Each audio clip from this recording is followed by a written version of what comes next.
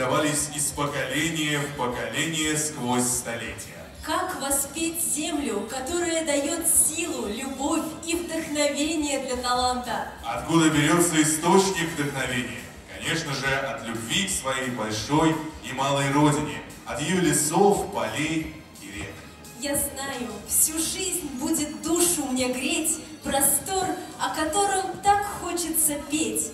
В веках процветай, небесами хранимый, родная земля, край родной, край любимый. Встречайте, на сцене народный вокальный ансамбль ППУ имени Акмулы «Вариация». Город Уфа.